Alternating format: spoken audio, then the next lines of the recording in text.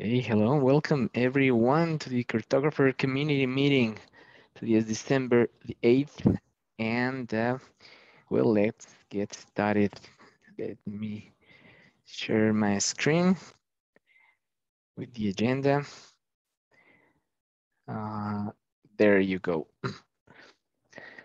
okay, yeah, thank you, Emily. I think I have to do the same, you know, put there my name uh, under the attendees list. That will help us to keep up the conversation even after the meeting. And remember, all sessions are recorded and stored in the YouTube um, VMware Cloud Native Apps YouTube channel under the Cartographer Community Meetings playlist. All right, um, welcome everyone. We don't see exactly new faces, but we are happy to see you here um, again. Okay, so the TLDR um, is our first section where we try to summarize what's new in the project this week, what team is working on. I, I try to contribute at least one item there. One thing that it's definitely new and it's uh, it, it will be really useful for the community out there. It's having architecture and troubleshooting docs. Uh, it's open for feedback. I've been uh, reading it, using it, and it's, you know, it's sent from heaven because I, I, I, as a user, I've been longing to, to have this overview and see, you know, visually see all the concepts, how they relate to each other. So um, it's going to be very useful, but again, if uh, users out there have uh, uh, opportunities to improve and uh, they have ideas or suggestions uh, to the docs, uh, please please feel free to open up issues um, so so we can triage and and work on it. And also there's a new um, troubleshooting section, troubleshooting guide. All of these you can check it. Um, you you will be able to see it right now in the development um, version here. Um, and it, it has, you know, it's it's very informational because I've I found this problem uh, several times. You know, the missing value at path and uh, not having a clear, um, you know, not having clear guidelines on what to do next. So this is really good because it has, uh, you know, missing value at path seems to be a, a kind of um, generic or, or one of the most common unknown states. And it has information what to do uh, on different um, conditions when this uh, message can come up. So thank you for, for this. Thank you to the team for working on this. It will be really useful. And for folks out there, again, it's open for feedback. That's great. There you go. The link is there. So yeah, I, I will say, but I don't know if someone else from team would like to summarize what what's new and what team is working on. I will say that a, a, good chunk of, of the work right now has to do with docs, but I'm, I'm sure there's more. So um, I don't know. It, it, yeah, please go ahead. Were service accounts new this week? They, they landed this week, right? Okay. Let me check. I could be wrong. That Um, might have been last week, but it's still very, very useful stuff that came in this week. Yeah, I think we talked about reducing controller permissions last week. Right. Yeah, Right. yeah, there you go. Yeah, it was last week. Uh, yeah, Sorry. it's it's no no problem. Yeah, it's a it's a big one because it was even oh a lot of comments. It was even at, at, at the top of our README page. So it's it's great to see it there. That's it. Anything else on uh, summary of what team is working on right now? Nope. Sorry, I was muted. Um, No. yeah, along with docs, we're working on getting some new. Uh, our example has we've always had one example, and we're looking Yeah. to break that into kind of a tiered example. Here's like just get your thing to prod. Here's get your thing to prod with testing. Here's get your thing to prod using uh, a GitOps flow. Um, and then also on our um, short-term horizon is uh, upgrade testing. Um, I think we're just at the very beginning of that. Okay. Thank you. Um, Just a question Is that upgrading of cartographer itself or say upgrading a, um, a supply chain? Upgrading, making sure that we upgrading cartographer itself, making sure that when cartographer releases a new version, that'll be a smooth experience. Uh, again, I would say that we are at the at the opening stages of uh, that story. Yeah, makes sense. Cool. And there was also infrastructure testing started this week too.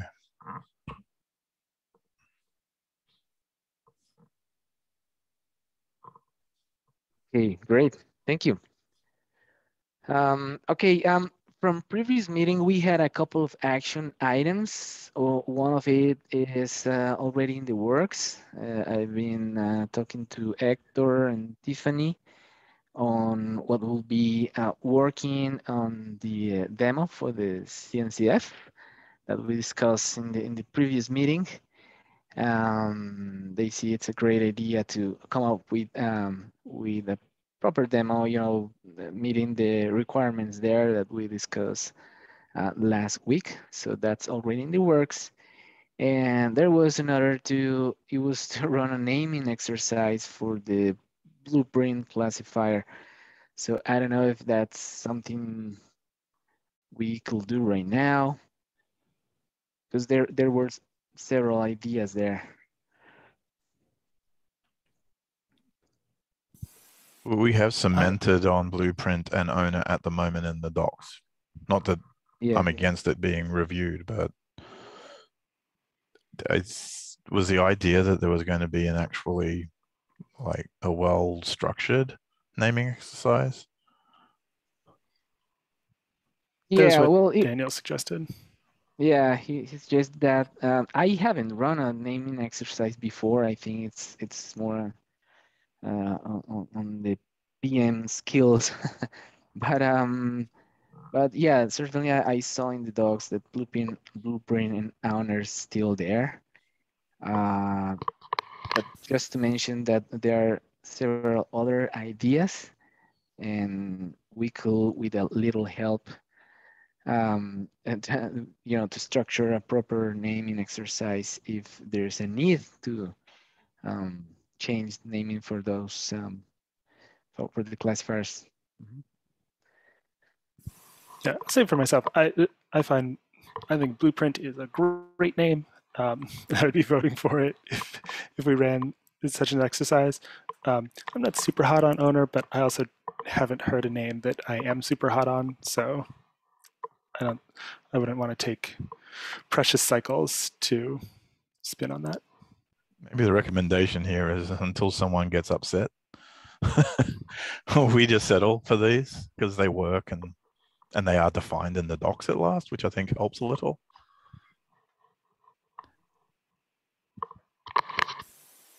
Okay, I agree. That's great. Cool. Um, great. Now for uh, I don't know if there's any other um, regarding blueprint. If not, we can move to the open mic discussion. This is from Marty, I believe. We talked about this in the uh, office hours meeting, uh, and I had to drop a bit early, but this was the uh, the outcome was it was decided that we would remove the RBAC informers because of the issue with the informers handling a lot of the same logic that the controllers have. Um, and I did I left some follow up questions in there. Um, I see Scott answered a few a little while ago. Um, but yeah, I guess I just wanted to revisit this discussion because if we remove them, right? Like Scott, you said, what about the the regular back off for a failed reconciliation? I like the problem with that is unless you really fix the roles within the first minute or two, then who knows how long you'll have to wait till it reconciles again. And then it's essentially useless. You may as well, you know, if you're just going to end up deleting and reapplying your workload. So it, I think the the default back off is useless for people in that regard, right? Um, and so like if we say we'll reconcile every five seconds, then you're, you know, once we have this permissions failure, okay, so then we're gonna just constantly have logging of constantly re-reconciling with the same error. Or do we say, okay, fine, so we'll limit that, like this said, like long polling, like sounds like there was some sort of time frame we thought was reasonable. I was like, is it reasonable to do every five seconds for 10 minutes? Like, like it seems a little bit arbitrary at that point.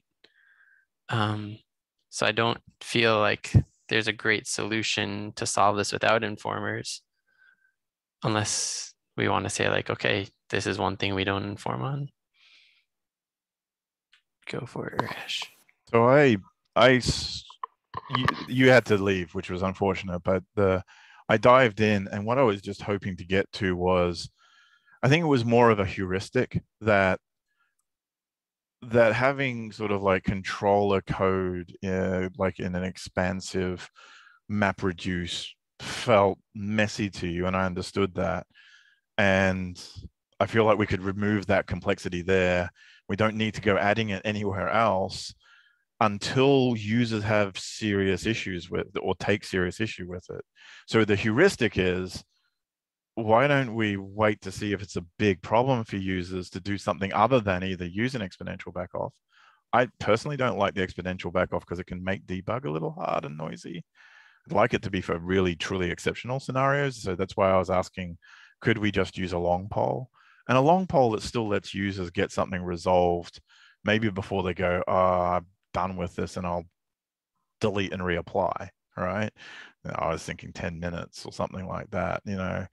Uh, but that's where my thoughts were in asking this was just to keep the code light until there was a real user concern that meant that our code needed to be heavier than it needs to be or, or than it is today.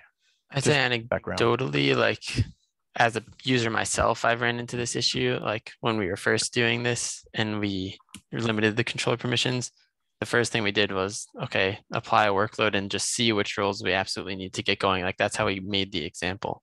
And it was brutal to keep deleting and reapplying and that's when we said okay maybe we should have informers. And like i've seen conversations in i, I don't know how which slack they were in but like i've seen conversations where people said like oh i have this error I'm missing a permission. And the answer we we've been able to give is just like add this role and you'll be good. Now the answer is going to be add this role either wait a few minutes or delete and reapply your workload. And like that's only anecdotal. So like maybe, you know, maybe more users won't hit that, but it feels like they're going to. And I, I did like I did like Scott's suggestion of kind of doing kind of both, like keeping the controller logic out of the informers. And so like mapping a service account to a workload can happen in the workload and it can we can create an in-memory mapping. But the work of like a role to a service account has nothing to do with cartographers inner workings and that can stay you know higher up. But i'm just nervous that this long polling is a light solution that won't actually end up solving anything and it's not worth it. Then why don't we keep the code you've got now until more misery arises? Another like the code you've got is working right? It just doesn't feel I hope. right because it solves the problem that you you saw. It just maybe doesn't feel architecturally as sound as maybe something else. Like I think it's not just in this case, right? It's also in mapping workloads to supply chains and deliverables to deliveries. We have the same problem there. Like now that we do best match labels, we have to do the same best match in the informers to make sure we're actually informing on the right, you know, we're actually reconciling the correct workloads and like we fixed that or there's a pr to fix i don't know if, i think it was merged like to fix in the informers so it has the same logic that the controller has for best match matching uh, to be honest i think that the the map reduce functions that make that make up the i want to be informed for this uh, because this controller needs to be informed when any of these things change. We can just wholesale pick up that logic and put it in the same namespace as the reconciler for it, and then call that from the call that from the the notif the sorry words escaping what we call a watch? Informer. informer thank you. From the informer and then we would at least have localized code that makes sense as why it exists. We can test it in isolation and still depend on it until such time as we need to do in-memory maps which i think are riskier personally. Um, but scott does have some suggestions that there were there is a tool that we should in maybe investigate the i think it's the knative one that is designed to set up in-memory mapping for informers is that right scott Yeah. I Well- wouldn't necessarily use the knative implementation, but that pattern, yeah. I just Uh, like so the, the, the general pattern is that as you're reconciling the resource, you basically know what resources you need to actually successfully reconcile that resource. So as you're going through, you can basically say, this is a resource that when it changes, I want to re-reconcile the resource that I'm reconciling, um, or at least add it back onto the test queue.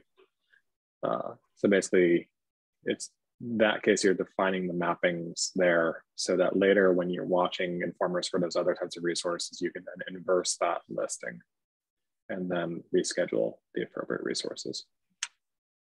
Could we dive into what Ash you think are like the the risks of that? Because I'm Yeah. curious. Yeah, so like I mean, Scott just said, you know, well, I wouldn't necessarily use that one. I'm like, well, wait.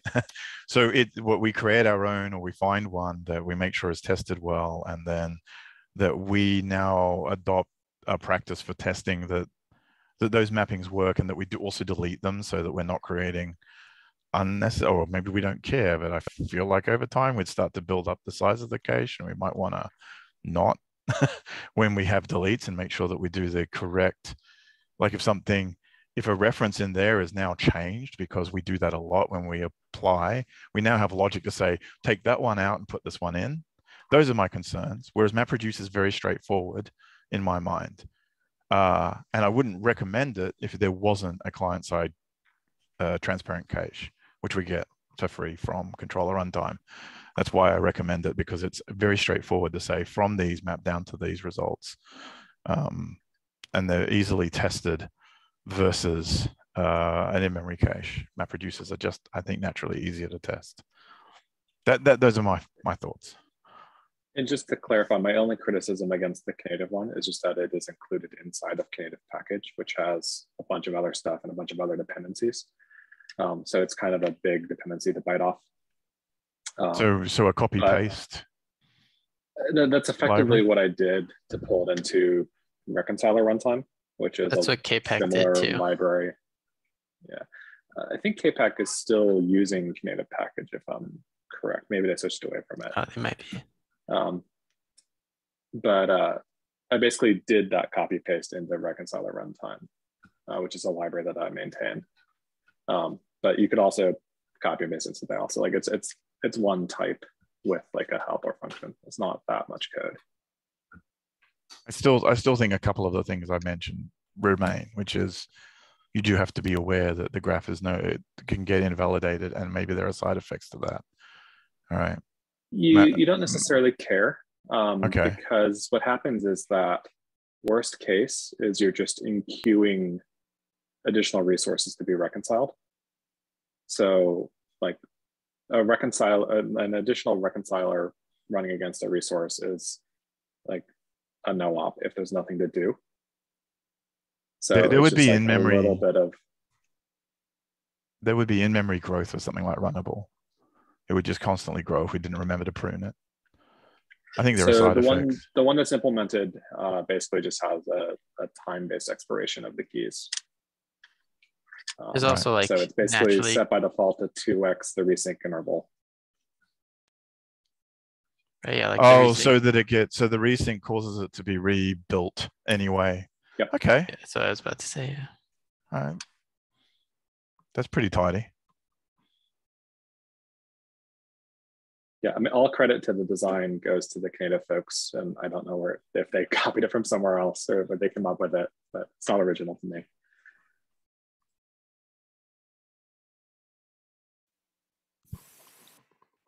I'm cons- I'm concerned we may have lost our host. Be- oh, oh, no, never mind.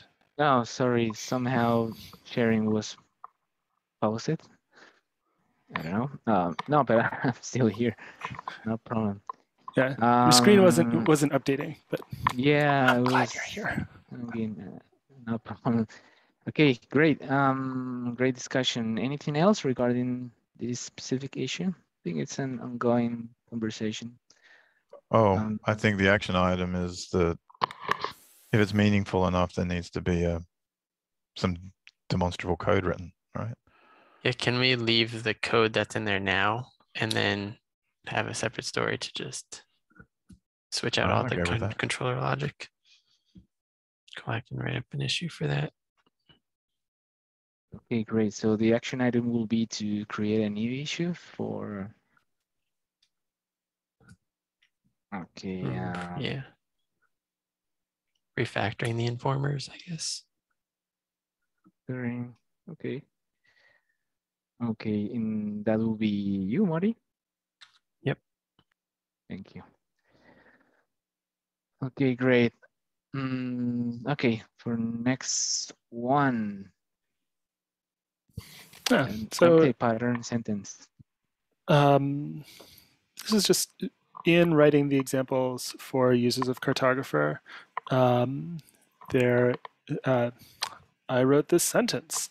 It's it is true. It's how Cartographer is set up right now, and it seems to cut in direct opposition to um, one of the goals, which is developers shouldn't have to know what's going on with the workloads.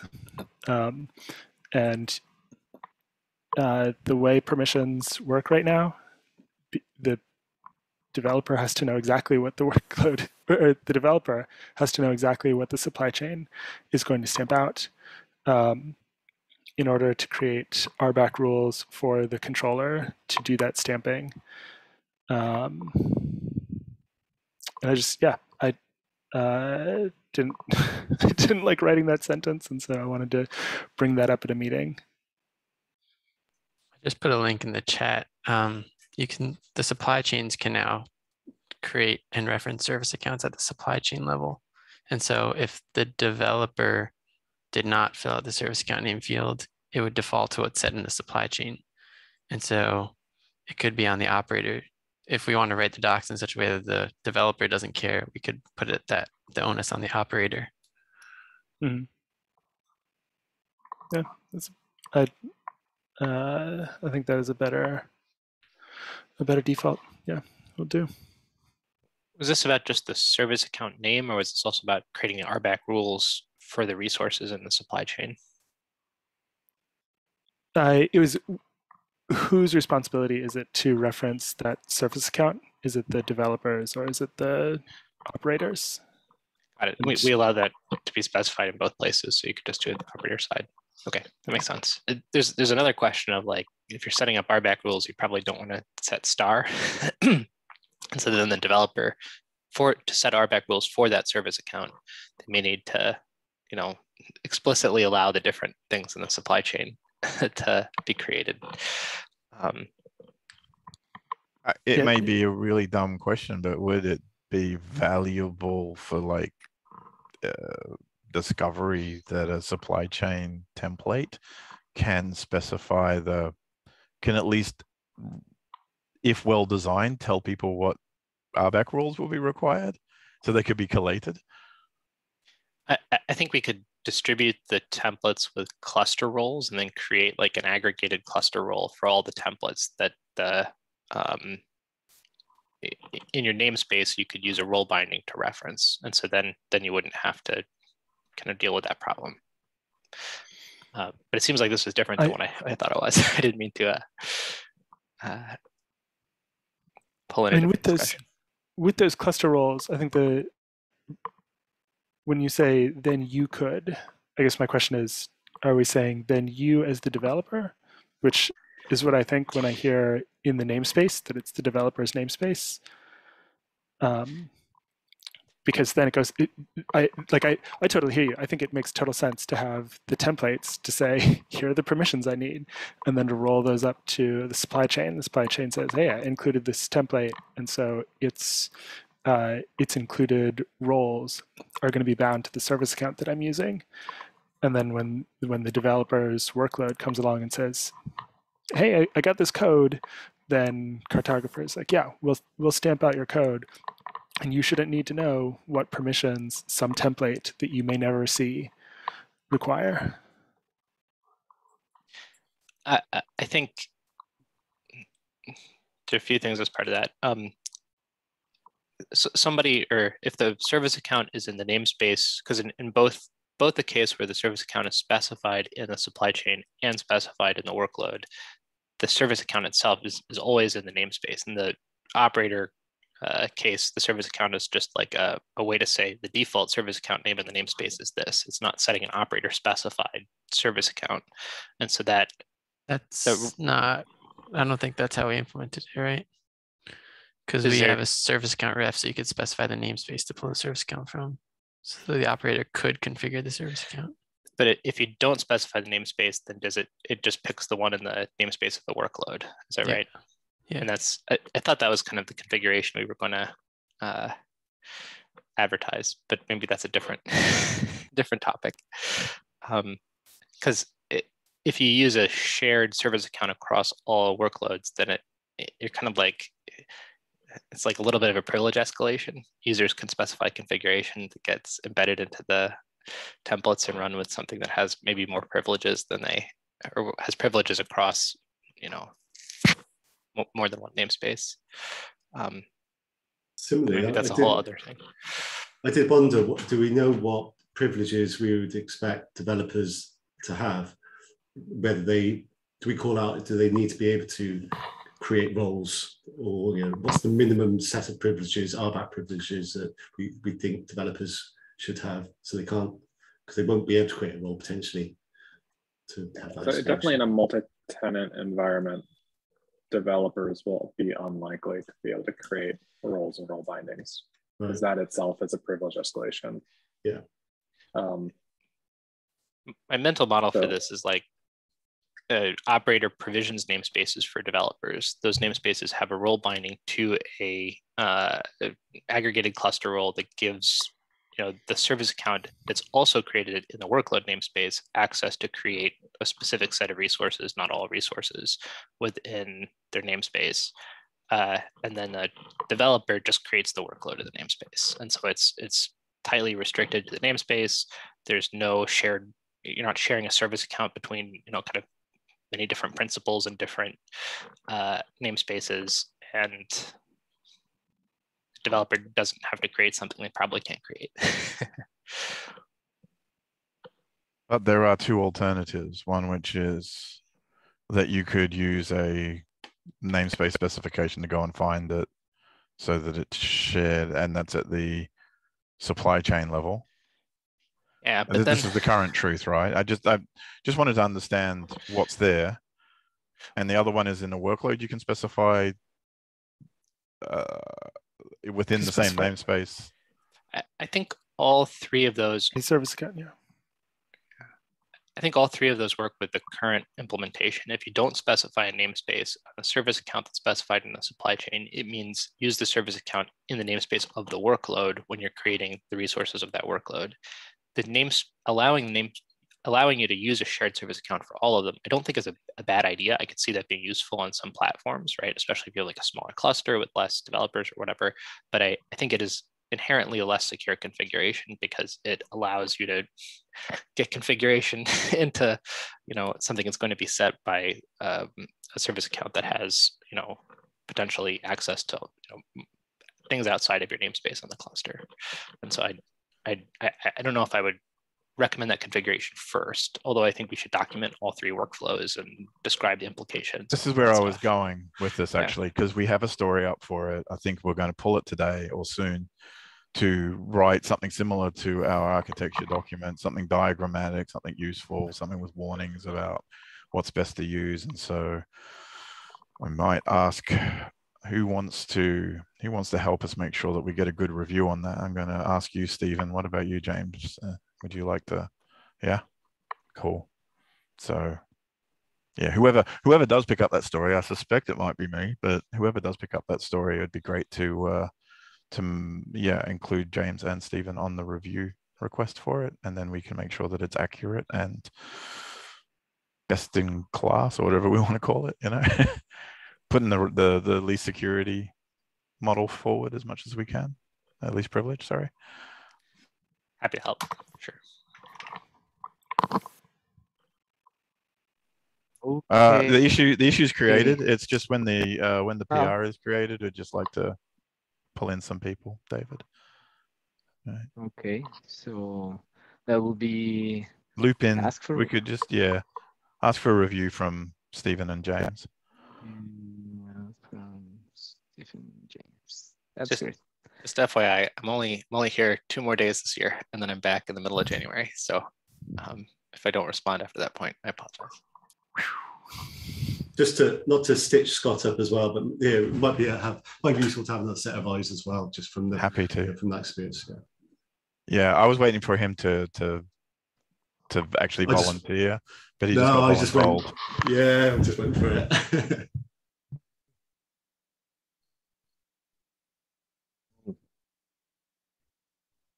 Okay, is there anything else you'd like to discuss, share? No? Well, I I just Appreciate- had one yeah. very, very quick thing. Sorry to, I, Yeah. everyone almost went, but uh, maybe I'll, I'll, I'll follow up and add a comment. But I, I noticed um, on the troubleshooting, which is re- looking really good, by the way. Um, I think one of the things I've, I've felt with is hard to know sometimes where to go and look for the next debug message. I just wondered if there's any brainstorming thoughts we could have around how do we almost kind of help users with the next command that they should run to go and look at, you know, investigate further issues. Um, like it's a kpack, you know, or it's an image thing. Is there a more helpful thing we can say, like run this command, or I don't know? When they're you open know, source, sure. Yeah. Yeah, yeah yeah. well sorry not when they're open source but when when when You they are yeah when they're they're like the likely thing to find in the supply chain that you're using in the open source project i think we're working towards that all right? I mean we can but the thing is is that it all- I, I feel like it's not in the troubleshooting. It's maybe in if you happen to be using kpack as one of your templates here's troubleshooting for that stuff and we may create categories for that. But the broader troubleshooting is uh, I mean, correct me if I'm wrong. You all can say that this is probably a bad approach, but the approach I took with troubleshooting is at the moment to assume that it's just the the you created your supply chain, whatever it might be. You created your deliverable, whatever it might be, and you might just be using job and Tekton. You might just be using, you know what I mean? Yeah. Well, where, where I was pondering with that was, could we? In, is there a way to catch what uh, you know, in the error uh, whenever we detect an error? We're about to update the message on message status on the workload. Almost, if we know the GVK, to say, okay, run uh, kubectl describe uh, Oh. We this this resource in this namespace kind of thing to help give the user the uh, the command to run to get the So that is in the So- troubleshooting. yeah, that's what we tried to do though, right? Like the the message Yeah. that's there is basically everything minus the kubectl. Like right. we we tried to have the the group and every you know the namespace and everything so that they could just That's our Copy. goal right there. pay. Yeah, Message, But- right, right there, status message. That waiting to read Yeah. value. Yeah. Yeah. So you literally we formatted that in the in the sense that you would do a you would do a cube get. You could just copy and paste. That was very important, right? That, that- that's the thing that me and Emily focused on with that was like, and then we explained to do it. But you're saying maybe let's lift it all the way into the message. It's just an idea, yeah. command. Yeah, the actual the actual command. So somebody in their, their terminal would run. I think the issue. paste issue. or yeah. I think the, the the issue with that is that this message isn't necessarily an error, right? So like telling them to go run this kubectl command when we might just be waiting for the status to be filled in might be more misleading. Or we have to say all of that as well in the message. If this takes a long time, you might want to run.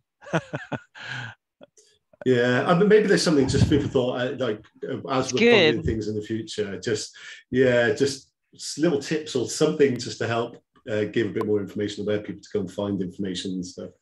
I know. Let's make sure that at the bottom of our status, if we're ever in unknown or, or false, that we say, see troubleshooting guide, link to the website. take you straight there. We can even Yeah. we could even embed links specifically to the ones that are most common. Like if we see a message for uh, Yeah. what was that one? Um, missing value at path. Or we can take them straight to the anchor on that page for missing value at path. Do we hate that? Yeah. I mean, personally, I, I quite like that. I've done some things in the past with their, with uh, health checks and things like that. It it, helps, um, and maybe on the docs, then you can have, you know, there's go to the community if this is beyond or various. It's just giving people a bit more information of how to go find information. I mean, we maybe we can riff on it a little bit more, but it's just that initial thing, initial experience of okay, something's not quite right. Where do I go next? So maybe like you say, FAQ or troubleshooting. That's a good initial step, and we can try and get more informative in the status messages over time or something. As long as it stays consistent, I think it also just needs to be really easy to to make sure that we consistently apply new uh new guidance, right? And that would Also, be gonna great. have to update the version in the link every time we release a new version. Uh, I think the head the head will always be safe enough. You know, we could always go to development. Um, actually, no. There's there's the public version is latest. Yeah, so slash latest works. What if you're running an old version? Um, then tough. Update your version. Yeah, Yeah, That's the first thing in all the live on yeah, edge. troubleshooting guide. Yeah, live on edge. I shouldn't say tough, but you know, I think I think most of the time they shouldn't be so drastically misinformed by going to more recent troubleshooting for that for that message. Unless we do breaking changes, and hopefully that will start to be a thing that we do in significant version changes.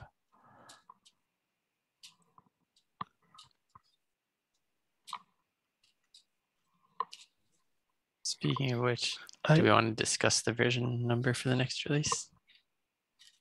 Or is this not the forum? I don't know. I think it should be fine, but I, I put tree and queue logs in there, so stick that under. Let's do that Um, first. it, and I I thought of this because of what you were asking about, James, how to help users troubleshoot even better. Um, uh, in some of our examples, like in some places in our code base, we do like talk about uh, K uh, kubectl tree and how that can help you see the uh, the dependency graph. Um, I don't know if we want to put that into our uh, into the troubleshooting guide as well. I'm not totally sure. It- it may already be in there. Hmm? No, well, there's a, there was a strong bounce back for me on that because I was going straight there because nothing better than K tree, right? So the problem I run into is I think it's great to advise on it, and I think there may be a section on it is the right thing, but I definitely wanted to avoid then putting that everywhere. Like I don't want the troubleshooting section. You get there and you start to use commands that you now have to make sure you've installed, right? I wanted it to be as and, and so, so that's my guiding rule for this and it could be that that shouldn't be it. We should say look minimum you want to debug this thing get tree installed because it really helps.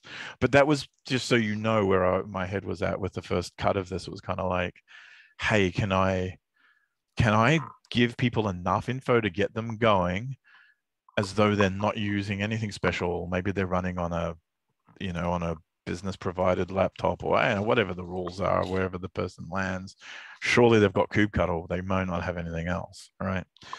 That Mhm. was that was the intention. So I think maybe putting, um, I think maybe like there, there needs to be a section on understanding the, uh, the target objects, which is why the way we descend the tree in the first step on each of these bits of debug is well, here's the output that tells you where what the thing is that's being owned that we're waiting on, right?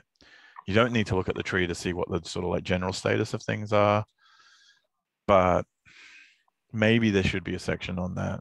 And there is actually a kubectl command that will give you a list of all of the things owned by another thing. And so I'd, again, I'd probably try and use that over using tree and then maybe have a note, a footnote. Why don't you try using tree? It might look nicer for you. What do you think? Um, I one that that approach that you were talking about makes total sense to me. Know, let's uh, let's allow them to troubleshoot with the with any tool that they have. Um, I personally would push a little more forcefully on, hey, here's a great tool, um, not just in a note, but like, hey, the developers of a cartographer use K-tree all the time. Like, like maybe you should too. Um, Or maybe you could file an issue for that one, Mhm. just so that we track that. Yeah, happy to. Um, and then on a similar note, uh, there's this code that was written by folks that are on the team. Qlogs. Uh, some members of the team use it. I find it very useful. But, Yeah, essentially, uh, a tool that will allow you to say, like, here's the workload, what's going on in the logs of these objects that we've created, and it just tells you. Um, one, is this the place to discuss like that tool? And two, if so, uh, what do we think about making that tool available to others? I couldn't even get it to work, so it would have to be some effort on, on the behalf of our team to make sure that it's portable and usable. Do you have a link to that? Curious to take a I- look. I do. It's uh, yeah, it's it's a private repo. Ah, no worries. Then. We'd have to start maintaining it if we're gonna tell people to use it, right? It's- I mean, maybe the person who created it could create a public, personal one. And I still think if it's not m- well maintained, then it's probably not something we should push as part of the project. But at least then it can be just mentioned, you know, in chat and that sort of thing. See if this tool works for you. Um, yeah. I'm also happy to put it on my public, personal open source project if no one wants to host it somewhere. So I pop sites together for those sorts of things. Don't care. I mean, if it's useful, we should share it, especially if mm-hmm. we want someone to be able to use it. But I'm just not sure that we want to adopt. Is there an alternative? I haven't seen one. You just Um, run the command for each object that was created. That's, I mean, like, which is pretty standard. So What, what- what are you looking for it to log? it doesn't log. It it reads logs. It gives you in the in the Like same way that logs or yeah, in the same way that tree lets you see like, hey, there's this dependency graph, and like here's all the stuff in that graph.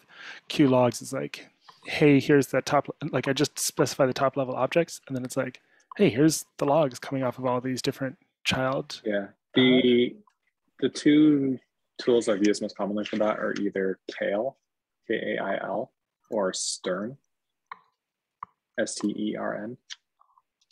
Uh, and both of those will allow you to specify a label selector and basically just grab a bunch of pods. Um, or you can start getting more advanced. Like Kail will allow you to specify like the name of a deployment or the name of something else, and it'll basically just go find all the appropriate children. Um, what's really nice about both of those is that it'll it has it sets up an informer for the pod, so as new pods come and go, it'll basically automatically show the output from them. Okay, I'll, I'll check these out. Thank you.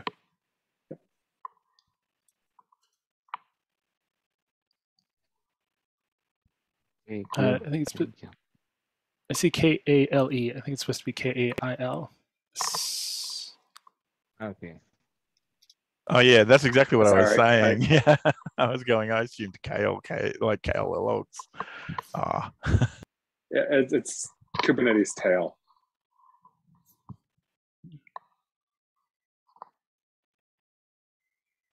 Yeah, that one. Great. Yeah, but you have to you have to agree that this logo is great. Okay. Got it. Um thank you. Um okay. That will be next item, next version number, Modi. Yeah, so we're still on zero dot zero dot seven eight, whatever we're listing. We're up to like eight now, so we have RCs out for zero dot zero dot eight. When when do we want to bump to like 0.1 or 1.0 even. It would be nice to start following Semver for real at some point, preferably soon. Um, but if we don't feel like the API is stable enough yet, maybe we're not ready for 1.0. I don't know. I, I kind of feel like it is, but what do y'all think? Um, one, I mean, uh, there was a meeting where there where we were asked to consider the name delivery and deliverable. Um, I would not. I would like to get buy-in on we're sticking with this or we're changing it before declaring 1.0.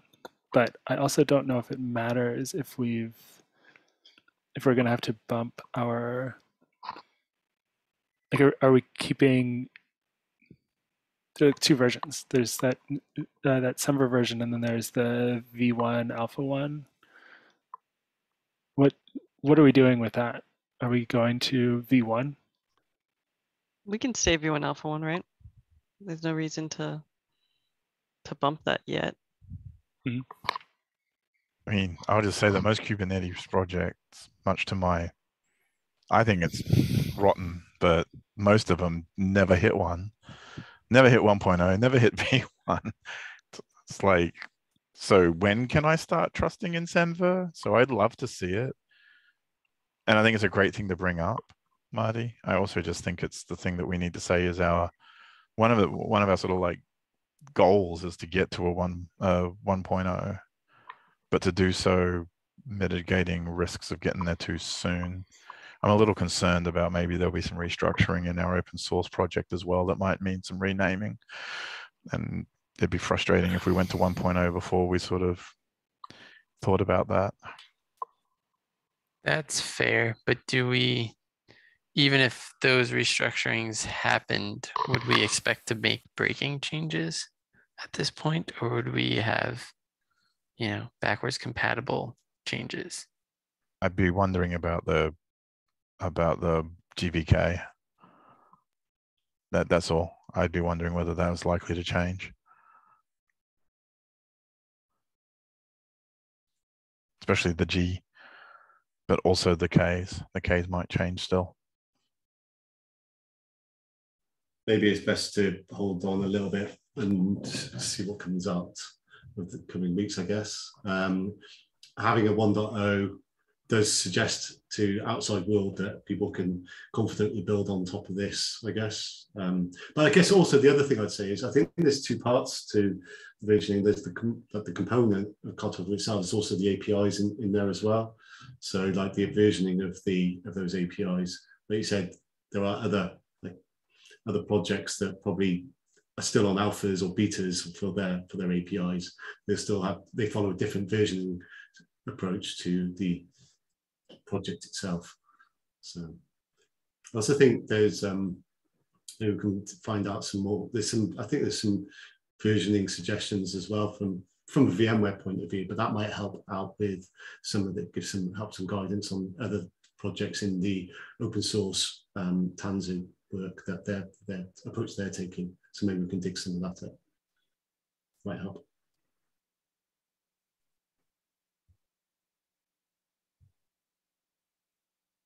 Someone, I mean, I don't know about you, James, but would you be, or maybe David, someone be able to like troll the other open source projects for opinions?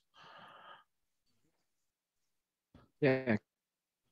Can put this here. I can take an action as well to, to kind of see if we can get some more information. If there's any guidance out there, I think there is some that's been talked about. So let's see what I can find and can uh, share.